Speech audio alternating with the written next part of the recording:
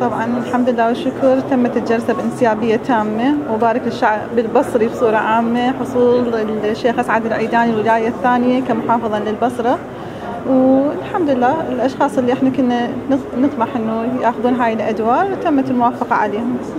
ماذا تعدين أهالي البصرة أنت كمرشحة وعضوه فائزة لأول مرة لإمتلاك هذا المنصب؟ أكيد أوعدهم إن شاء الله إنه إحنا موجودين اليوم لخدمة أهل البصرة وحتى ننهض بواقعها ونكمل سلسلة الأعمال والمشاريع اللي بدأ بها السيد المحافظ.